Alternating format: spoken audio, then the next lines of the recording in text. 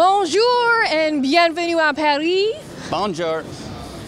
If you haven't already guessed, Craig and I are reporting live from the 2018 Paris Motor Show here in the City of Love. City of Light.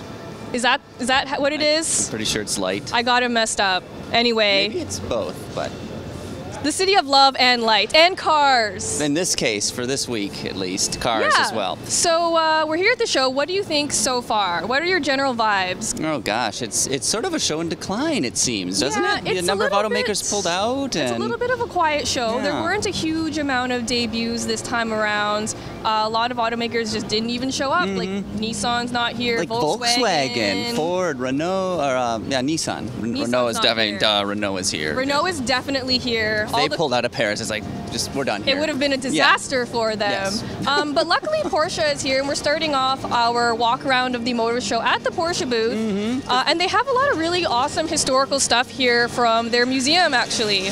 Do they? Yeah, these are all like super important models for Porsche, and uh, it's their 70th birthday this year. Sorry, yeah. So let's walk over I to. would have thought they were older than 70, but that's guess that's about right. That's about right. I'm pretty sure they got it right. I mean, it's their own marketing better have it right. exercise. They'd better have it right. Um, so we're just gonna walk over here to see the car that debuted at the show. Actually, I'm I'm wrong. It didn't debut here. Um, It's- it's a it's a concept, sort of. It's a concept, sort of. So up until the Paris Motor Show, this, which you're going to see in a minute, is the 911 Speedster concept. And at the Paris Motor Show, it stopped being a concept because they they basically decided that they're going to produce it because the response to it was so good. And they're only going to make 1,948, which Yes. corresponds to the year, I guess, that the first 356 was uh, sort of uh, approved to be sold, right? Yes, and So that's that's cool kind of based on the model right over here, Ben. If you want to swoop over, this I is the OG 356. I kind of like it more.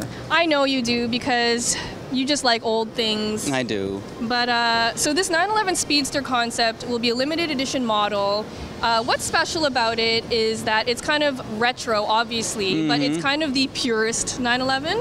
Because there's no roof to it, correct? It's only a two-seater. It's naturally aspirated, And- manual only, Yay! and and it spins to nine grand and puts out 500 horsepower. yeah. So that sounds that's checking all the right boxes for me. I mean, I wish it had a roof, personally, but you're everything not else. a convertible person. Not at all. I'm not really a convertible person, but I would drive this any day. Yes, it's quite nice. It is And so cool. This is definitely maybe in the next 70 years it's going to be up here with oh these yeah. cars. You so know? this car will Absolute definitely classic. be a collector's item. I, I can guarantee you that they're already sold out completely. Um, Oh, and they're only selling them to like you know bona fide Porsche collectors. So you have to go like and be vetted or something like yeah, a job interview. Yeah, I'm certain. And uh, I would be surprised if people would are actually gonna drive these cars. I think people will just keep them in little climate controlled garages while their you want values to skyrocket, appreciate, right? Yeah. Uh, and that happened with the 911R that we saw, which was kind of the, the previous like quote Mm-hmm. Yeah. purest Porsche before this came out. Yeah. Um, and- what about what do you think of the side view mirrors, Jodi? They're totally different from what you'd get on a standard 911. That's why I love them. Is that what you because, love? well, just by looking at this, you know it's something really different and very special. And I think if you're going to shell out that much money for a Mm-hmm. 911, it had better be visually special and different from any other 911 out there. and what's going on with the hood? Do you know? I don't actually know, but we know we all know there's no engine under there. Yeah. So what does that little valve go to? I don't know. We should I'm ask somebody. I'm not sure, but we should ask somebody. You're the boss lady. You're supposed to know. I don't know everything. I almost bought a Panamera. Um, but yeah, this is a super special Porsche. Yeah. I, I hope I hope some people will actually take them out and drive them instead of just hoarding them in their garage. And, and, and to your point, watching your asset appreciate Exactly, a lot. every exactly. So- But why don't we head over to the Audi booth? We got a couple products Sure. about there. Yeah. And it's just next door, not a very far walk, but um, we'll snake our way around. Because you've got to watch out for glass partitions. There's always a change in elevation, so you can trip I and say this every time we're doing one of these walkarounds is that I'm terrified of falling on camera because it's happened before. Oh dear. Yeah. So we mentioned at the intro of this video that you know uh, perhaps this auto show is in decline. A lot of automakers have pulled out. Yes. Uh, we see the same happening in Detroit. Yeah, a number of right. automakers are not going to be there next year. Yep. Now, do you think that's an overall trend in the industry, like auto shows are sort of passe, or is this just a little blip on the radar? What do you think, Jodi? I definitely think auto shows are in decline. Um, and you, you know, with Detroit, that's what historically one of the biggest auto shows in the world. Oh, yeah. And so now, uh, t- 2019 will be the last time it's in January. They've moved it to June, Mm-hmm. starting in 2020. A much more, uh, you know, hospitable month in the Midwest. Yeah, and so auto shows are expensive for automakers to attend, Mm-hmm. um, and a lot of times they just can't justify doing it.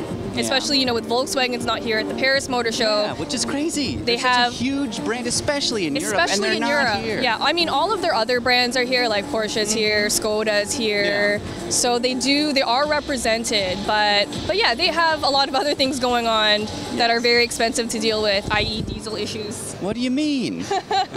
anyway, in, in response to what you just said about diesels, this is their future without fossil fuels because this is the e-tron that they've unveiled here, a production car that is all electric. Yep. And, And- this is Audi's first all-electric SUV. Correct.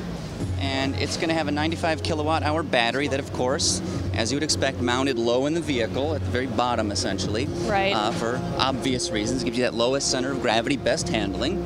Um, and there's not, know quite, we know some things about this car, but not a whole lot. Like the pricing in the U.S., it's going to start around seventy-six thousand dollars. Mm-hmm. Which is that a good price? Do you think, or is that a bit? I mean, it is a premium brand. It's got a. You're I not going to get it for like twenty-five Yeah, grand. I think for what it is, it makes a lot of sense for that pricing to start there, and I think Yeah. that'll be pretty close to what the what the GLE starts at. Yes. Sorry, the the EQC. There you go. Yes. Oh, Which man. they haven't announced pricing yet, but it's it's it's got to be, be pretty same. close. It's got to be the same. Yeah, so this is a really important model for Audi. Uh, it's really interesting to note that the side mirrors here are not traditional side mirrors. Yes. They're uh, cameras. Mhm, Which is probably a no-go in the U.S. I believe FMVSS requires a mirror. At least it did. Well, I guess they're we'll going to have to happens. rewrite their codes Yes. just to make sure these new course, technologies. technology. Yeah, But here's one we can get a closer look at. Ben can pop in the interior if it's free. sure. Um, and you can see the, the side view mirrors actually display on screens on the door panels, which is a very interesting touch. Um, It's actually really smart to do it that way, though, because so like Lexus also just came out with a side view mirror system, but it has Okay. this like janky looking tacked on screen. Oh, yeah, So yeah. this is much better integrated, and I like this execution a lot better. But you were going, you were going to say something about the range. Well, range, as far as we know, as far as I could find out, is not been official. I saw a couple sites that had estimates, and it looks like it could be around 250 miles on a single charge, Yeah. but I would imagine it's got to be more than that. I think because it the has to Mercedes be- EQC had a bit more range with a smaller battery pack. yeah, I think it has. These days, I think range has to be at least 250 as the Yes, bare that's minimum. The, that's the cost of entry, Yeah. essentially. Yeah, I mean, even the Leaf only had two something, and people weren't saying. Oh, yeah. People were like, "Oh, it's not enough." I mean, in Europe, I think less than 250 miles on a charge is more workable. Yes, Yes, 'cause But in the U.S., if you live in. Iowa, you're not going anywhere. Yeah. with that mileage. And what else is there? I thought it was very interesting. You get um, standard air suspension that adjusts the vehicle by about three inches of total travel up and down. But also, there's an available tow package, which made me laugh very hard because it's rated to drag up to 4,000 pounds, Which 1,800 is kilos. a lot. A lot, and but what is that going to do to your driving range if you're towing anywhere near the max there? That's just going to torpedo it completely. Yeah, I mean, like, what are you going to be towing extra batteries so you could charge it? A generator. A gen- an electric, Drag- a gasoline drag a generator. Gasoline generator, exactly. Well, let's move on. Uh, there's a lot of cool stuff in the Audi booth that we actually don't get back at home, Oh, yeah. and we can go through those a little bit. Take us bit. on a quick wheel us through here, Jodi. right, sure. Before we head to the next building. So this is really cool. This is the A6 Avant, which we don't get in North Oh, America. Beautiful wagon. Everyone loves an old wagon, and this is an especially attractive wagon. It's not brown and doesn't have a manual transmission though. But people will still freak out about it. I think I actually think wagons are having a bit of a comeback right now. Um, and I mean, in Europe, they're still super, super popular. I just wish more people in North America would see the light Yes. and start buying wagons instead of SUVs.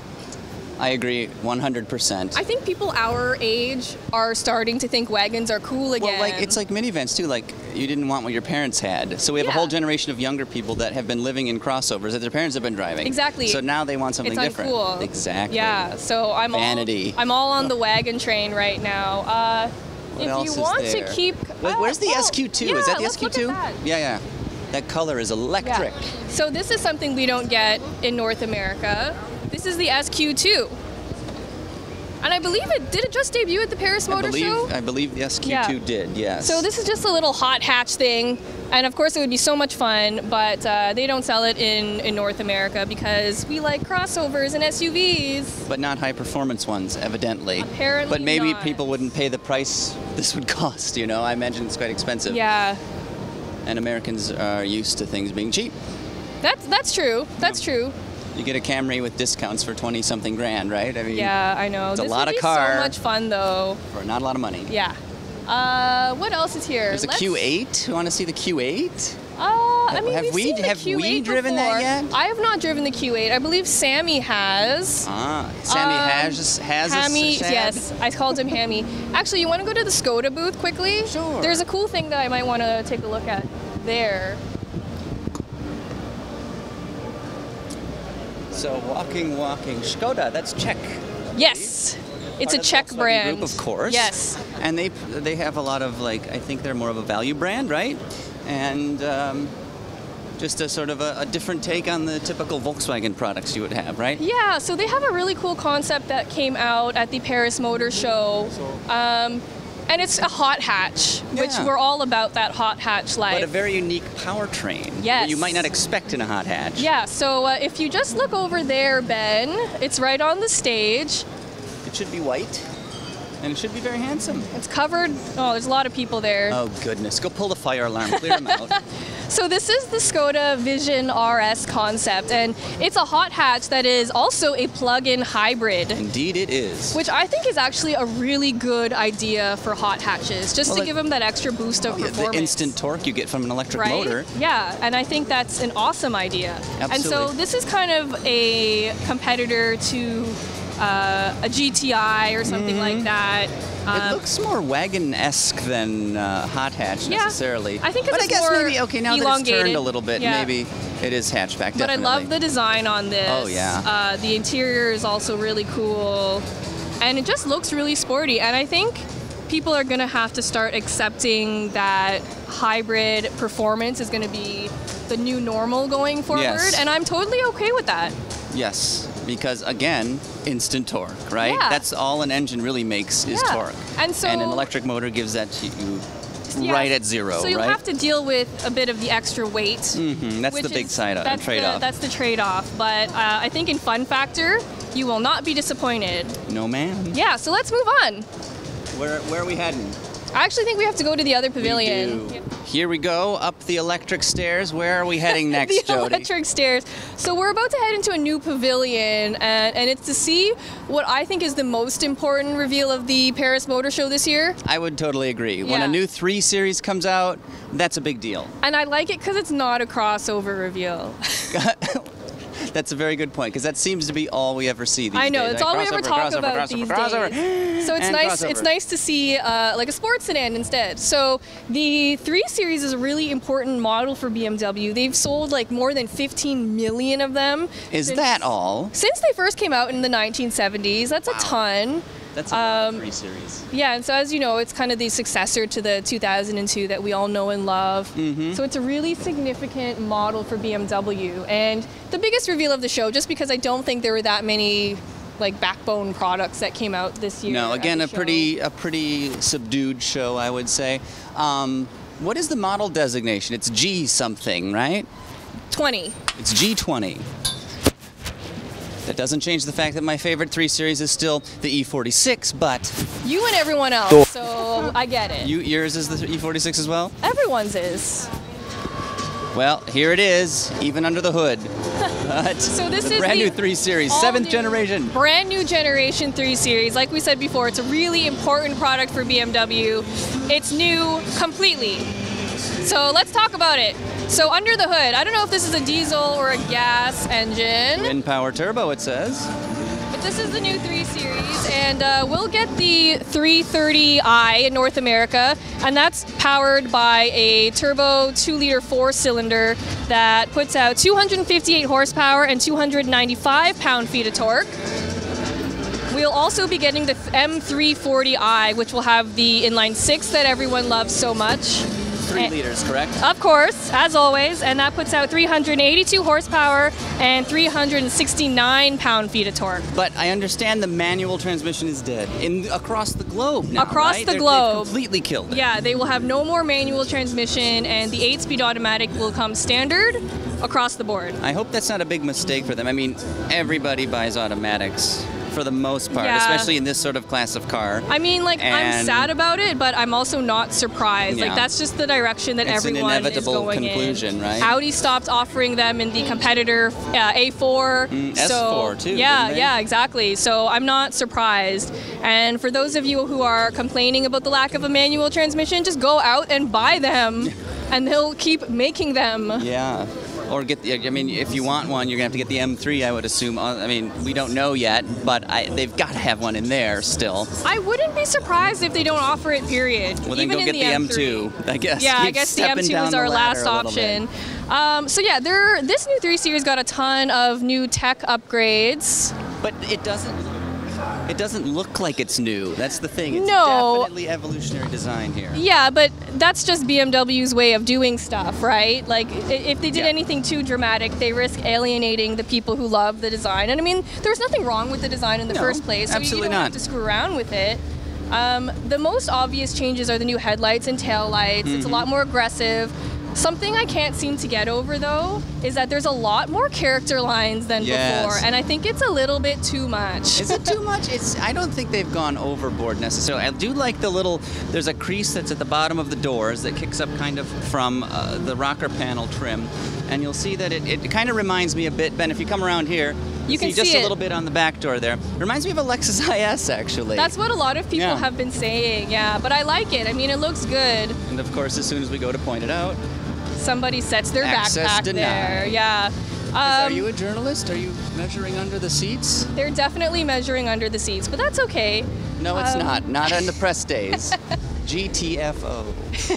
Um, so Ben's gonna go into the interior here, and it has seen a lot of upgrades. For one, it is bigger than before, so there's more room for passengers and for cargo. That's every generation car. Each Yeah. nameplate, it seems, gets bigger and heavier. Yeah, well, maybe I not mean- heavier, but bigger and bigger and yeah, bigger. bigger and bigger. And so this new 3 Series grows a bit in all dimensions, like the wheelbase, the track, the height, width, length. They're all a little bit bigger than they used to be. But BMW says that all of the models across the board will be lighter, That's important. which is important, and we can all be happy about that. Do we know if they've gone to a lot of uh, next generation materials in the, like the bodywork? Is it aluminum, for instance, in a lot of areas? Or do I don't think know? so. I don't. I think Yeah. all of that is the same. The I, I know I know they did a lot of uh, enhancements to the engine, making stuff lighter in there, course, just like little bits here and there, nothing major.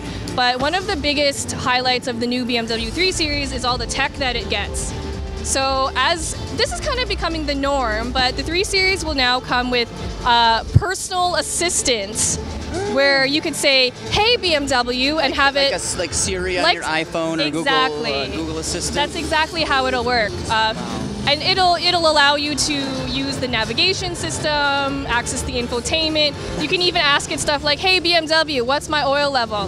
And it should be able to understand. Which is convenient since they don't have dipsticks anymore. Yeah, um, and so you should be able to speak to it pretty naturally. Like you don't have to follow those very rigid rules that Yeah. very older systems had. And I hope it works well because some of those older systems for you know yeah, don't like, work. sorry, I all. didn't understand you. I- where is the gas station? Bloom. What? Can you repeat that, please? No, I did not understand. Yeah, so this should be a lot better Yes. than uh, before. Mercedes also has a similar system now where you Do say, "Hey. Mercedes." Where yeah. sh- should we maybe head over there? Because they have a Um, number of important products that yeah, they revealed here. We could go over there in a second. Are we done talking about the three series? Or I feel like there's a lot more to talk Looking about. at my notes, we did eight speed. Uh, it's grown a bit. Looks the same, similar design. Yeah, um, 50-50 weight distribution. One I think thing that's worth mentioning. That is worth mentioning because that's a that's a classic Mm-hmm. BMW trait. of course. got perfect weight distribution. I did want to mention that it also has a new uh, lift. It's kind of a new suspension. It's a trick new suspension where it has variable dampers, okay. and it's the first time that they'll appear in a BMW.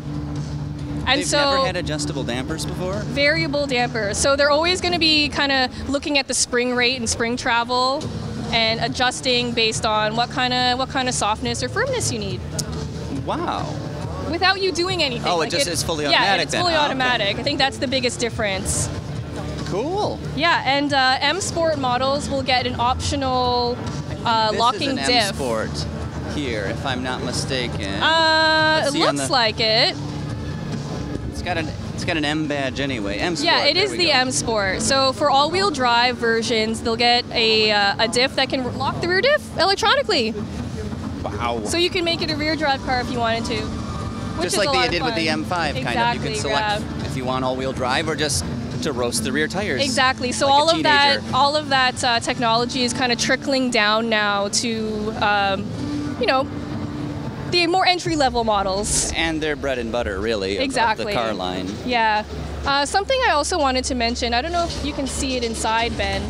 But if you go inside, you can see that it has an all-new, fully customizable digital gauge cluster. Ah. Which is something we've seen before in Audis, and now uh, now they will be in the 3 Series. Ben just got rejected from the inside of that car.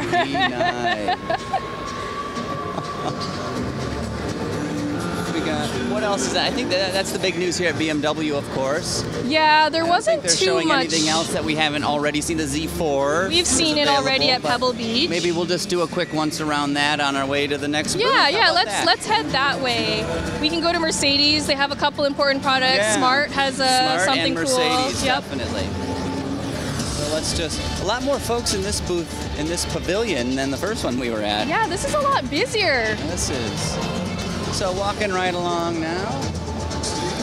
Yeah, so we're We've passing. got JLR, Jag Land Rover to the left. They're not showing anything new that I'm aware of, but um, But they have an got- I-Pace on they do. display, and uh, you recently drove the I-Pace. I what did. you think of I it? was I was blown away. It was Yeah. fantastic. It drove really really well. It's fast. It looks great. The interior is very nice. It's spacious. It's comfortable. Really, it does everything. It has a, what is it like a 400 mile range if I remember correctly? Wow. The I thing can't I off the top of my head. I don't remember, but the thing I like lot. most about the I-Pace is just how normal it feels. Yes. Like it doesn't it doesn't scream out that it's an electric car, and it looks great. And it's it's a Tesla killer, right? Like because it's built by a real car That's what company. they're saying. The door finishes or like things line up properly. Yep. Jaguar has a, a little bit of experience with mass a little production. bit more perhaps Yeah. than the folks in It also looks a lot better than the the Model X, which I think is a Yeah, potato. The Model X, especially the back doors. Like, Ugh. why did those ever make it to production? Put those on a concept car, sure, but for your production model, have these crazy ass Yeah. gull wing Well, doors. no, thing- it doesn't the work. thing with the No. Model X, which is actually right over there, we can walk over to it so you can see what we're talking about. The thing with the Model X is that they would have. we oh, have to Oh, we have to go around. I almost walked into a glass wall. Um, they would have sold a bajillion of them, even if they didn't have those dumb doors. Okay. So I think they just wanted something that people could brag about, in addition to it being a Tesla. It's part of the, the mystique of the brand, right? You got to have these sort of a pu- publicity stunt almost. Yeah, they just wanted something flashy to show off, right? Yeah. But just look at the design in comparison. Like you see the Model X, and it looks like a potato on wheels. It does, unfortunately. Or a potato with wings, I should say. Winged potato. And then the the uh, I-Pace just looks nice. You know, like the Ian total Callum lack of a designed it. grill. I don't just- mind It's that. unconventional. It doesn't It's- need a grill. It doesn't, but neither does the I-Pace. But it still has just enough venting and cooling uh, Yeah. capacity for its systems. Plus, the hood is vented, which actually improves its aerodynamics. I think everything on that car's design was uh, had the sole purpose yes. of improving aerodynamics. So it slices through the wind. Yeah, that's so cool. Um, let's keep going. Let's go to Smart. Smart is next on the They list. They had something cool that debuted here. well, they had something that Uh, debuted here. you're not a fan, but Sam McEachern back in the office is a really big fan of this car. and I don't blame him, actually. I actually think it's kind of cool.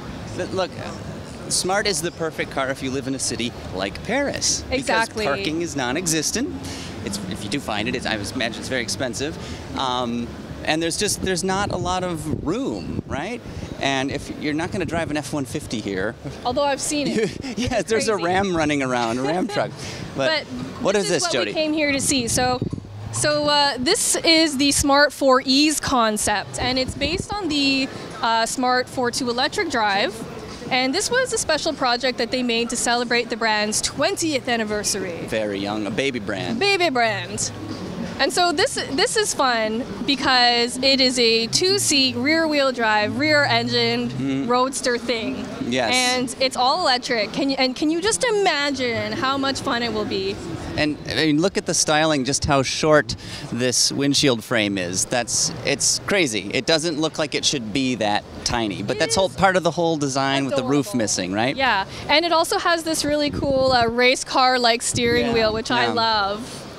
But you know, the Smart in the U.S. at least is all electric now. Yep, all of which is America. the best way it should be because they had the the gasoline engine was kind of slow, and the original transmission that they launched just with Yeah. was that uh, automated manual, just That awful in every driving situation. The slowest shifting thing Yes. I have ever experienced in my life. And so I was not a fan of the smart car until I drove the electric model. Which and all of a sudden, it made so much sense. The electric model is just so good. So It- this is a fun little concept. It'll not be uh, made into a production car. It's really just a celebration of everything smart stands Mm-hmm. for, and it kind of combines uh, two concepts that they had from the past, which is pretty cool.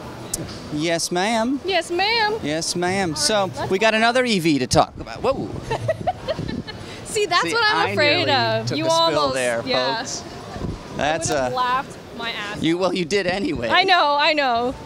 All right. Um, Well, let's head over. Let's head over to the Mercedes booth. the EQC. They actually have a couple of products here that debuted in Paris. Uh, let's go see that. The EQC. Yes, the EQC, All which right. is Mercedes' first ever electric crossover that will compete with the e-tron we saw earlier. That's right. Which design do you prefer, Jodi? They're they're definitely uh, you know representative of each brand. Yes. Different take on on what an, an electric vehicle should look like. I but do you have a preference? I think I prefer the way the Audi looks.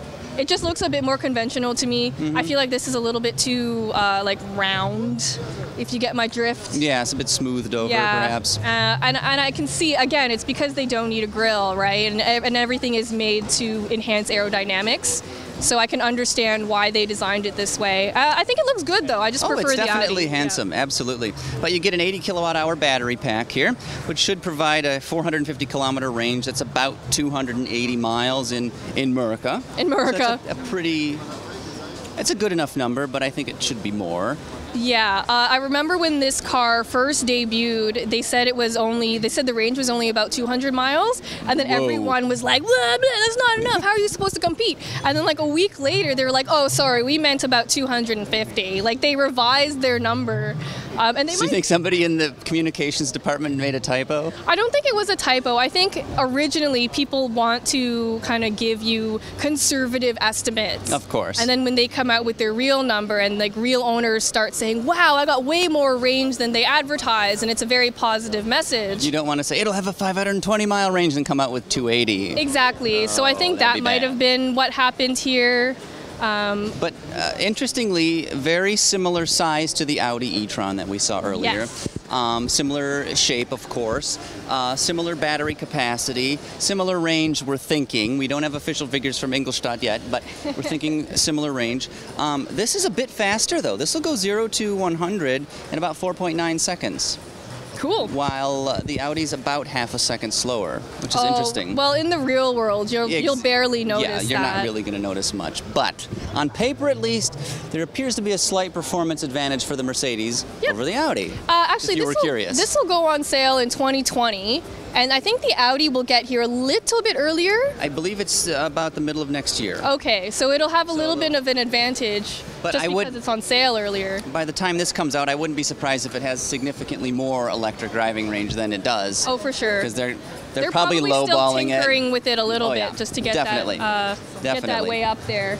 What do you think of this? This is their other big reveal. This is the other big reveal they had here. Sure, this is the new GLE, uh, and it's really important because the old GLE uh, was, which used to be the M class, was was old. Was old. Just just it was the old. it was really really old, and so this is a completely new like bumper to bumper Yes. new generation model. Absolutely. Um, so it gets a lot of interesting stuff. It gets a two liter turbo four cylinder.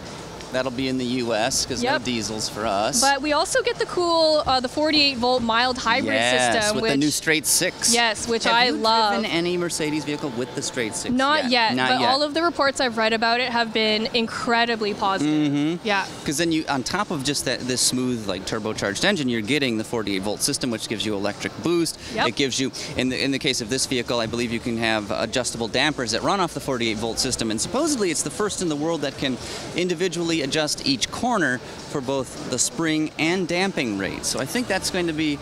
Very interesting to experience, especially in like Detroit where our roads are horrible. It also has a really interesting feature, and so it's a little bit hard to describe, but I saw a video of it and it was stuck in the sand. And if you just hold this mic Sure. for a second, you know how if you're stuck in the snow, you kind of like rock yourself out of the snow. Like you put it in park, you go a little, or sorry, you put it in drive, and then you reverse a little and rock yourself out. Yeah, the vehicle kind of goes back and forth. can do it by itself. It's a special mode that can rock itself out of the sand or in the snow.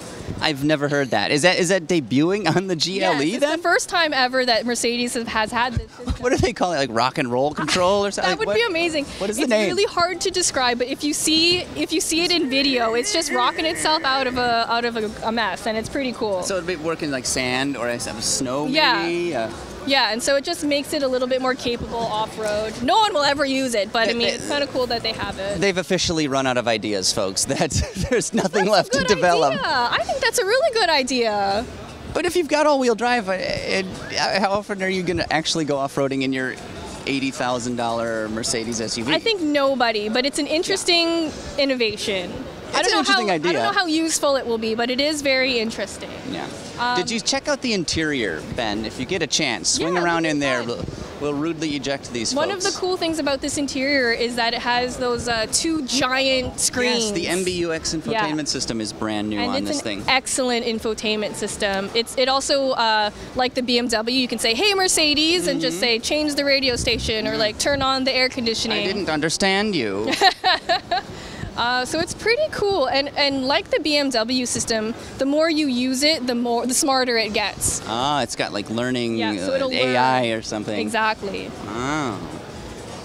I don't even and know it if has it's gesture on. controls too. I didn't know if you knew that, Jodi. Where you there's a camera mounted up in the like the headliner, Cool. and it will see either it can determine if the front passenger or the driver is trying to manipulate something, and it will change the interface based on that. That's pretty cool. That's a very clever idea. Very smart. Yeah, and the interior looks really nice too. Of course it does. I mean, it's a Mercedes, and I mean, it's a handsome-looking SUV. I, I quite like it. Yes, Um, much nicer than the old M class. Yes, yes, because Yes. that one was so old. Very Um, old. What else can we take Oh, a we- look they, at here? They just got us opening in the driver's seat, Ben. If you want, if they haven't seen it yet, give a quick look. I hope see. it's on. Oh yeah, it is. So it is gorgeous. That That's- new setup is so nice. That's a lot of screen. It is a lot of screen. Do you think we're getting to the point where there is uh, too much distraction? with I think- digital displays. I think eventually there will be even more. Um, No, so do Porsche is working on a system where it turns your um, windscreen into uh, what do you call them? Like a virtual? No, sorry, augmented reality. Yes, yes. Yeah. And we're going one of the uh, concepts we're going to talk about in the next hall from Renault actually has 16 displays inside, and That's a one lot. of them is 49 inches. It's basically the whole dashboard. That's bigger than my TV at home. so you can watch Netflix and cruise. Netflix and cruise. All right, let's All right, keep what's going. next, Jodi? We're going. Uh, we got a little AMG to talk about. Little AMG, how fun. Where is it? Well, over this way. What? Oh, Ben's pointing over here. Here we go. The AMG A35. I was looking for the yellow one that was all over the press release. Yeah, they can't have yellow at their display. I mean, they've got white and gray. They have to keep it conservative. blue. Yes, this has got to be laid back. So this is the new A-class uh, AMG version. Yeah, the entry car, Yep. entry performance model. Are we even sure? Like, we're not even sure we're going to get this in North America right now. Maybe north of the border, you guys will. But in the U.S., it's highly unlikely So, that we'll ever see this. It's a strange setup because in Canada we get the hatchback and the sedan version of the A-class, while the U.S. only gets the sedan version. crazy because we don't like hatchbacks. Guys any, don't again, anything good apparently. Yeah, I mean Canadians are much more receptive to smaller cars, Well, your fuel costs manuals, more, and uh, wagons than than you guys are. We're a lot more European in our tastes. and sensible, I would argue, because Yes. like you don't necessarily need a gigantic vehicle. Yeah. If you occasionally haul six people, right? I mean, Yeah. go rent something for that one one occasion. Yeah, so the A Class is a really important product for Mercedes. They get a lot of new stuff here. So, like we just saw in the GLE, it gets the new MBUX uh, infotainment system. The A Class gets it too, which is really impressive because this is their entry level offering. And to offer something that cool on an entry level product is incredible. Yeah. But is this really that entry level? This is the performance version. You're getting, Yeah, you know, true. 306 horsepower, nearly as much torque. Yeah. All-wheel drive. This is a proper luxury hot hatch. Yeah, but I mean, I'm talking about the regular A Class, True. so like the A220 or whatever it is that we're getting. But this will be fun to drive, and I can't wait to drive it. So, question for the audience, all of you guys watching. We've got three new products here at the Mercedes booth. Let me ask you this.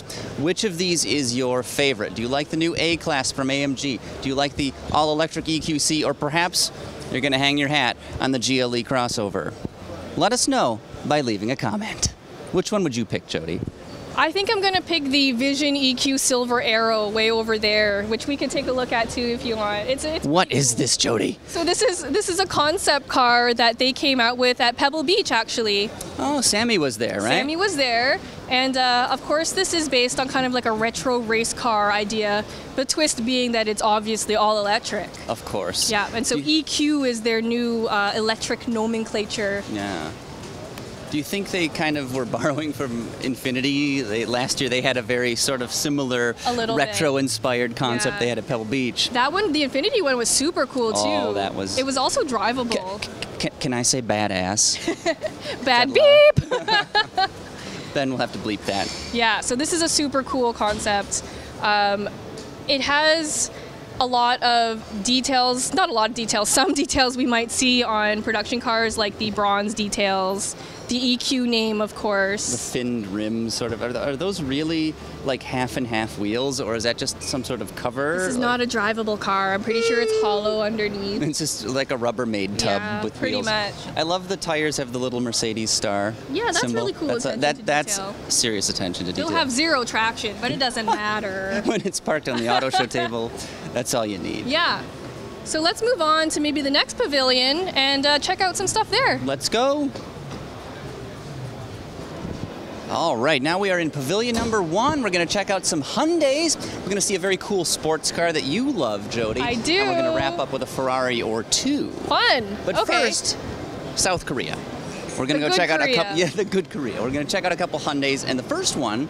Let, let's see if we can find the i30N option. Okay, That's sort of previewing some performance parts they're going to offer, right? Yeah, so the i30N option previews the N line of performance parts. If you don't want a full on N, you can buy bits and bobs here and there to enhance the performance of your car. Um, we're not sure yet. This is just a concept, so we're actually not sure what cars you'll be able to get these options for. Um, but it is pretty cool that they will be offered. I think it's that one over there is the N option. And this says N line here on this one. So these will be like a la carte items you could get at a dealership, for instance, and Yeah. have installed on your car. Yeah. Yeah. So if you if you have one of these models and don't want like or you can't afford the full on N, uh, but say you want better brakes, you could just get that if you wanted to. I see. That's very cool. Kind yeah. of the kind of the industry norm, but they're really maturing as an automaker. Yeah, and so it's really important for, for Hyundai because it's the first time they've ever offered something like this. Um, and now that they have, you know, uh, Albert Biermann from BMW M working on the driving dynamics and these performance parts, I think it's going to be good times at Hyundai. Yeah. Let's check out the car next to it because I think that has a few other parts, including they're showcasing an Alcantara interior. Let's see if you can get inside there, Ben. It may be locked. Give that a look. See. Yeah, so this is obviously uh, the most extreme version. Um, it has a lot of add-on parts that you normally wouldn't be able to find on a car like this. like the Alcantara interior, a carbon fiber hatch Yeah. and spoiler, and a, different lip, a lip kit, a vented hood, Yep. all the sort of typical baubles you might expect in a Baubles. high-performance car. Yeah, I like it though. Uh, and so Hyundai is working on a lot of interesting things performance-wise. And so I want to take a look at this, which is the big debut that Hyundai had uh, at this year's show. What is it? This is the i30 Fastback N, and it's a car that we don't get in North America.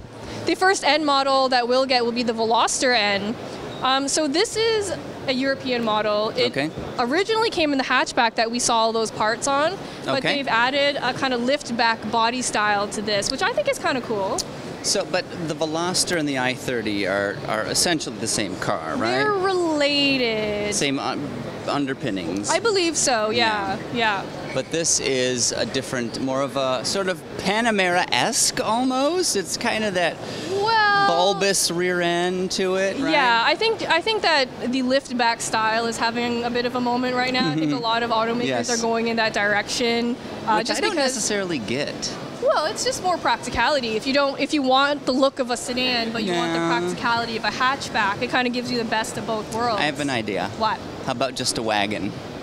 Yes, of course you would say that, and of course I agree with you. Naturally. Um, but I, I actually don't mind a lift back style so much. It's a different option, I Yeah, guess, I in, think it looks pretty range. good. Yeah. I'm actually really, really excited to drive an N product. I haven't driven the Veloster N yet, and I'm just dying to. You're going to get a couple engine options, though, at least in the, uh, the fastback here. 246 horsepower from a 2-liter turbo, or you can get 271 if you option it up to the next step, but should be the same basic engine. Fun. 0 to 60 in either 6.4 or as fast. Are you ready? Tell me. 6.1 seconds. Damn, To 60. that's pretty good. Pardon me, 62. Oh, So probably less than 6 to 60 miles an hour, yeah. which is properly fast, you know, for, For a little hatchback for a little like hatchback. that? That's yeah, that's great performance. Cool. But let's uh, we're gonna go do that away. Okay. And I think we're gonna find one of the cars you really wanted to talk about. It's a sports car, so let's head oh, this fun. way. Okay, yeah, let's go. It's it's something maybe some of the uh, North American audience has not heard of before. The Alpine A. Ooh, okay. The A110. Yes. Yes. The A110. So this is another car that we don't get in North America, which I'm actually really salty about. Um, so this, people keep is that saying. how you get angry, Jodi? You're just I'm salty. I just get salty. I don't get fully angry, just salty. Uh, so polite. So this car, people were saying that it's a competitor to the Cayman and stuff like that, but I think it's it's aimed at a lower market than the Cayman. Mm-hmm. It's not as premium. Sure. You, you've got to bring. You've got to be a serious automaker if you're going to Yeah. legitimately compete Yeah. with Porsche. So I think they had like Porsche Right like up here. driving dynamics. Yes, because Um, you can kind of get that in like a 4C, right? Yeah, exactly. Which is I still hesitate to call a Cayman competitor or something because I mean, it's just not. It's in the same ballpark, It's in but the same ballpark, the but refinement isn't there really. No. Um, so this is the Alpine A110. This is a car that I've been really, really excited about, but I've never driven. Everything I've read about it has been amazing. Um, so it's powered by, wow, Oh, great! Somebody's All right, set here we go. alarm. Yeah. That's what happens when you do live broadcast. Horns go off. Uh, so it's mid-engine, which is a lot of fun. It has a 1.8 liter turbo engine that puts out 252 horsepower, which doesn't sound like a lot on paper, but the car is really light. It's rear-wheel drive, and it'll be so much fun. Oh yes, and this again is not anything new at the Paris show. It's not. Nope. They're not uh, having a press conference or anything, but it's something cool that's worth pointing out. And people are really excited about this car Yeah. because it's a it's a fun purist enthusiast car, Mm-hmm. and as we all know, there are fewer and fewer of them around. Unfortunately, well, Yeah. we'll we'll happen past some of the autonomous like lounges that Renault has, Yes, which I is sort my- of the antithesis of this. I have feelings about those oh, are you salty? A little bit. Okay, let's check out the, the sort of the body in white here. It's always cool to see those. Hey, the, but, the hey, unpainted Bibendum, structure. Bibendum's over there. Ben is right there. He's running camera. oh, the Michelin Bibendum. The Michelin Bibendum's Oh. over there. He's going nuts. Oh, he's waving. He's gesticulating. You probably can't see him. He's way in Oh, the distance. he's turning around. Oh, there he is. Has he lost weight? He's looking good these He's days. lost the a couple of rolls. Yes. Yeah, yeah. But here's the Alpine A110 sort of under the skin, if you will. And looks like a lot of extruded aluminum. A la Tesla, you know? Yeah. Anyway, let's keep going. I'm really sad that we don't get this car. Uh, let's walk through the Renault area. There's a lot of interesting stuff to see over there. Uh, I think Renault has some of the coolest designs right now, actually.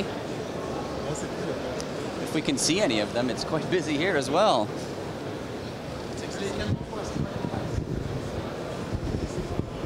But let's see, have they cordoned it off, perhaps?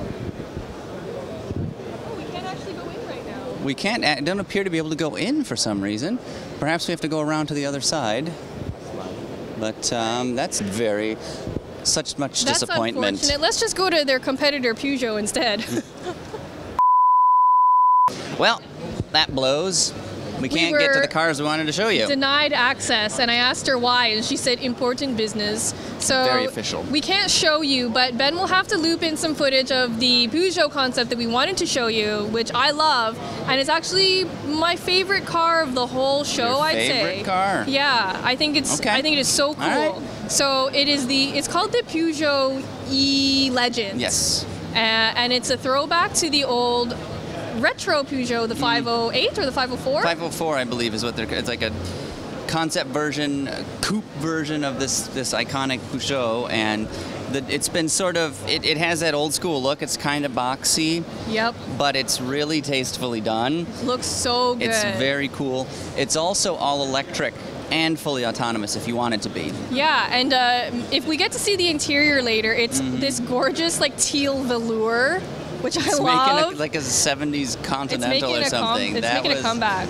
That's. It. I would not immediately think velour would be a popular interior option for the 21st century, but perhaps velour's day has come once again. Yeah, and so remember the We'll. Honda Urban EV concept that came out a little Mm-hmm. That while little ago? hatchback one, little the white retro one, yeah. and people were losing it over it because People, it was you. so yeah, because it was so cute, and it was just a really good example of an electric car that people would be really excited about buying. That's not a Tesla, right? Mm-hmm. Um, and so I think if Peugeot actually made this car and it looked like that concept, I think it'd be really popular.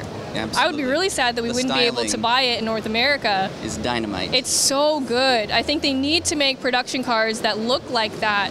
Uh, and Peugeot actually said, like, we're not going to make boring cars anymore. So here's this amazing concept. Yeah, and so it has something like 16 display screens inside. uh, some on the door panels that, if I read it, the press release correctly, are simulating a certain type of material on the doors that they're doing digitally, which is crazy. Right. Uh, also, the dashboard has like a 49 inch screen on it. So I don't know if your TV is even that big at home, uh, but you could, I guess, watch Netflix. While you lounge autonomously, Yeah. whatever.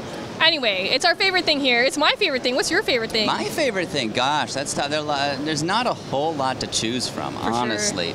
But I would, if I were to, to pick a favorite, I would go with probably the new GLE. Hmm. It, they're going to sell a lot. It looks really nice. The 48 volt, uh, you know, addition to a, to the drivetrain with the three liter inline six, I think is going to be a dynamite powertrain. It's spacious. The interior super well done. there's a lot of tech Lots inside. of technology. I think it's going to be an absolute winner for them. And Awesome. finally, because the the outgoing one is so freaking old. I know, but it didn't exactly affect how well it sold. People were No. still buying They it just like see crazy. The Mercedes logo. and- Yeah, let's snap it right up. Yep. Yeah. Uh, so let's go try to see something else that we can actually get access to in this pavilion. Do you think we can get maybe to Suzuki? And Ferrari. yes, to the other side to Ferrari. Let's try. Onwards. Well, we finally, finally made it to the Suzuki booth. This Finally. is the Jimny. It's so I cool. love the Jimny. Look at this, a locking diff, a mechanical locking diff for this little guy. Yes, this vehicle is body on frame, live axles, low range gearing. It's like it's like a miniature Jeep Wrangler they built in Japan. I love the whole idea of this. For those of you who can't afford a G-Wagon and want something boxy to go wheeling in, this is the coolest thing. And the interior, it's definitely built to a price point, but that's all you need. This is an affordable vehicle. Well, the thing is, like, if you're gonna take it off-roading, you want something that you can like hose down, or just at least will be rugged. And all of this looks like pretty good. Look at this long throw shifter. I know. Can you imagine how fun that will be to drive? It's got a back seat. It's got decent. Let's check out the cargo space. Because, let's see here. This will tip forward. Not a lot of room back there. You're not going to fit uh, someone my size very comfortably. I would fit back there, okay. Yeah, you probably would. Yeah, so one of the things that I, I love about this is the the retro opening hatch and the spare mounted or the mounted spare tire.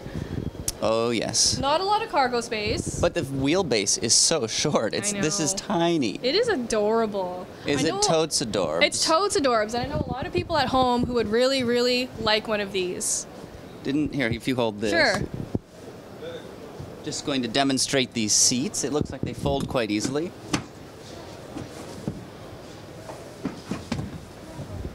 Yeah, so you get a good amount of cargo space. The uh, back of the seats is uh, covered in plastic, it's so, a nice durable off. surface. Yep. No trim back here. Gives you a rugged look. But who's building body on frame anymore with live axles? It's crazy. Especially That's this so size. out of left field, yeah, right? I mean that's why they're not selling it in North America. Um, and I think a lot of people would love this because Jeeps are getting pretty expensive these days. They're crazy. A Wrangler is insane. Yeah. I mean, you look at an Unlimited, which is what everybody, a lot of folks buy. Yeah. It's, it's a lot of money. and Jeeps, yeah, they're just getting really expensive, and so this will be a nice option for someone who can't afford it. And it's awesome. It's so cute. Okay, let's keep What going. are we heading next, Jodi? What do you want to see? so, uh, you want to gonna- stroll through Suzuki and Yeah, sure. Let's go. Because a lot of these products are not offered in North America. Obviously, they're well, not. the brand Suzuki isn't in Suzuki left North America a long time ago. Um, I think they were ahead of their time. Remember the Suzuki SX4? little all-wheel drive, All-wheel drive little, little compact car. Yeah, And it was a little bit lifted, and so now that's all the rage. it's like a whole new class of vehicle, right? Um, Let's walk that way. All right. Ferrari Oh. is that way. And one other brand, a brand new automaker, is sort of having its coming out party here, right? Oh, yeah, that's right. So this is an automaker we've never seen before. Um, and it's actually really, really interesting because they're Vietnam's first ever automaker. Yes. Have you ever heard of a Vietnamese car company? I have never heard of it. Um, so this it's kind of interesting what they're doing because they're licensing old BMW Yes. platforms. yes. And their their stuff is designed by Pininfarina. Wow. So you get style, you get proven dynamics and technology. Yeah. So you Um, get German engineering, German chassis engineering. You get Italian design. Um, and then maybe Some pho. some pho. Is yeah. That's Vietnamese, right? I'm not confusing that with something else. Am I? So, so they came out with two vehicles here at the Paris Motor Show, and uh, both of them are slated for production actually in their home market. yeah, not going to make it to North America, I don't imagine, but Not yet, anyway, Yeah. but these they days you never know. They should meet all the emissions and sa- uh, crash safety requirements, assuming they're using, you know, all of this BMW technology. I mean, so they look pretty good. They're not not unattractive vehicles, They not at all. Completely ready for production. They're also developing a whole range of EVs, of city cars, electric buses, and scooters even, like the bird scooter, right? Of course. Squawk. Squawk. Alrighty, so we're going from Vietnam to a much more established brand, right? A little bit. Company with quite a bit of heritage. What are we looking at here, Jodi? So Ferrari came out with two really cool models, and they look like concept cars, but they're actually production cars. They're the SP1 Monza and the SP2 Monza. I thought they were only concepts. No, let's look at them. Let's- Come over here. Uh, I wonder if we can go inside. We might not be allowed inside. Common folk like us. Yeah, we're not. We are. don't have enough money to We actually don't smell enter of, the booth. of cash, so Yeah. we can't uh, walk in. But So these, so this is one of the models, and it's a single seater, Mm-hmm. and it's based on uh, like retro race cars. And so this seems to be a recurring theme with a lot of automakers. They're kind of revisiting the past for inspiration on new models. because they've run out of ideas. If- Maybe. Yeah, I guess that's a little bit shady, but uh, they have a one-seat model and a two-seat model, and these are gorgeous. Very pretty, and it's a sort of this open theme, right? We saw it with the smart car. We're seeing it here.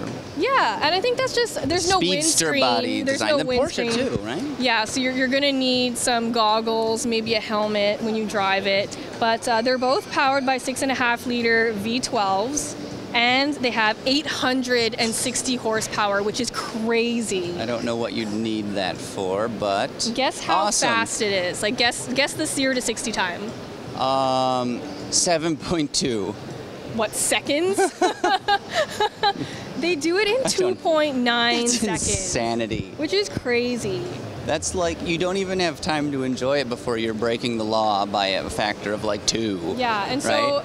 Th- these are very, very limited edition models. They will be produced They're built under Ferrari's new um, Icona line of cars, which is just like super exclusive line of stuff like this. Mm-hmm. Um, and I love it. I know Sam McEachern at home is a huge fan of these Ferraris. He was so They're beautiful. excited. Yeah, we got the, this one's like the. Batmobile almost, and then this bit, looks yeah. like some sort of, like you said, racing car from maybe the 30s or something. Mm-hmm. And, and this is a very interesting sort of deck to it as well. It's covering up the space where you would normally have a passenger seat. Yeah, It's very so well integrated into I the rest of the bodywork. I believe they're based on the Superfast. Okay. Yeah.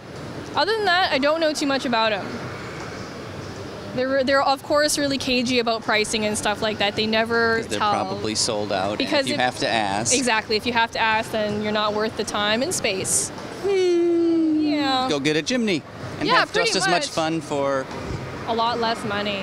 yeah, Uh, where else should we go? I don't know, just wander around, uh, see if we can get back to the Let's go over Peugeot concept we didn't get a chance to see, but I suspect it's still blocked off. I don't think we're going to be able to s- to walk in there, but that's okay. There are some uh, Lamborghinis over here. No, Lamborghini isn't at the show, but this is a local Parisian dealer who has brought some stuff for us to look at. Same with Aston Martin. I see there's Aston Martin Paris, ostensibly the dealership here, so Exactly. still have a presence of sorts. I'm not a big Lambo fan. I just I don't love them. Have I you ever driven one? I have. It was a Gallardo, the manual, which was Oh, fine. wow. This was six years ago, probably. That's but old. I don't know. My thing about Lamborghini is that much. like it's too much. Like I would much rather drive something like an Aston Martin or even that McLaren 720S that I drove. Oh, I thought it was way more Yes. entertaining than like a Huracan that I also was lucky enough really? to drive. Yeah. You'd prefer the? I would prefer a McLaren? McLaren over a Lamborghini. Interesting. Yeah. I think I would as well. it's also just a little bit different. You know, if, Mm-hmm. you, if you're gonna pay that much money for a supercar, you know, you see Lamborghinis everywhere. Like they're not exactly common, but Uh, in the supercar realm, they're Right. Quite popular. Exactly. Where McLaren isn't, is what and you're saying, right? McLaren isn't that popular, and when anyone sees a Lamborghini, they're like, "Oh, that's a Lamborghini," but they see a McLaren and they don't. They're like, "Oh, what's that? That's interesting." Ex- I, I drove the 570 GT, and that was the exact reaction I had. Nobody knew what it was, like what, Yeah. what automaker But produced they knew it. it was cool. Well, they knew it was something special. Exactly. And it was just because the, the way the doors open, the color, it's it's low to the ground. The body looks like a spaceship almost. The way it's curving and, and, And unlike a chisel job. so nicely. Like it was a, a dedicated supercar. Like it was fast, the performance was amazing, but it was also very, very comfortable and civilized. And it was not intimidating to drive, which I was really surprised about. I'm surprised you. Well, maybe the 570 GT is different, but I didn't find it all that civilized when I drove it. Oh, really? It The would shake. The, the the vehicle would kind of shake at idle. Oh. Um, it was loud. Well, that's the pole man's McLaren. I had the Super Series McLaren. Okay, it's a You little did. bit different. You did. High highfalutin Jodes Yeah, got and the it fancy was one. nothing shook. It was it was quiet. It was comfortable. How was the speed? It was incredible. It It's was mind bending. mind bending. And the only complaint I had is that maybe McLarens aren't known for sounding that good. So the so the Lamborghini definitely sounds better than McLaren. But that's like my only complaint, if you can call that a complaint. It's like a, ha- a hair dryer or something. It's not that bad. But anyway, thank you so much for tuning in to our walk around of the Paris Motor Show. I know it didn't go as smoothly as we would have liked because there's that's something special things, going on there. I don't know what. That just that's just how things go in France. Things never go as planned. But thank you for tuning in. We hope you enjoyed it. If you have any questions, leave them in the comments, and we'll try to come back to them later. And uh, the next auto show we'll see you at will be the LA Auto Show in November. It's coming up fast. Yeah, so we'll see you there. Thanks for watching. Take care. Bye.